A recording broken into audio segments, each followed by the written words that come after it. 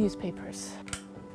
Lots of newspapers from across the world, from the UK. The Scotsman, Morning Post, Montrose Standard, large scale, lots to do. Jedburgh Gazette, folded, so even more fragile. As you can see on either side, it just continues and continues, and we're left with brittle edges to the extent where we have stuff that can't be issued anymore, stuff that will be lost. From about the 50s onwards, there was this big initiative to bind newspapers.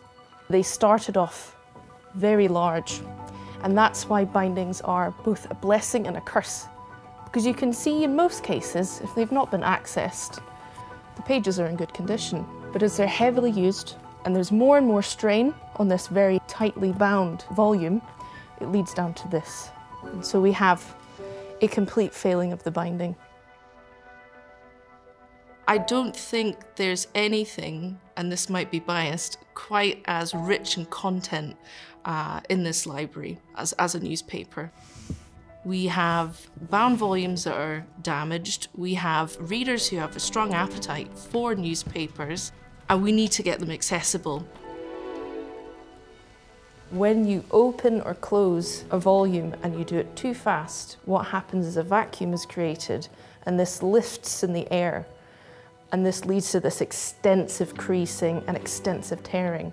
This is the inner joint that you find in every book and it's exposed, which it shouldn't be. You can see the cords, you can see the rotting leather. So for me, it's clear there is enough here, although it is a last resort, to choose to disbind this and work on it as single sheets.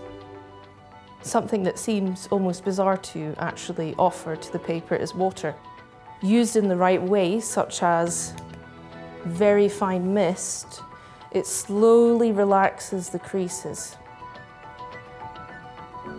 One thing that has to be remembered is that any tear along the edge, especially as it's being handled, will likely continue to tear.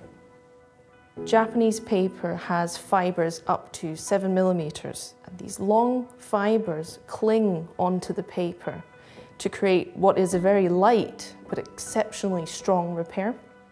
And then in order to ensure that when we're drying it, it's drying flat and nothing sticks, we use what's called Bondina. Part of the conservation plan that I've created is to future-proof this collection. Because it is so brittle, um, it will eventually perish. And so if we can do as much as we can in our preventive side of conservation, so that's rehousing, environmental conditions, if we can continue to monitor that and improve upon it, then we should have more time. So the focus on the digitization work in relation to conservation work is stabilizing them and then returning them to the shelves for our readers to access.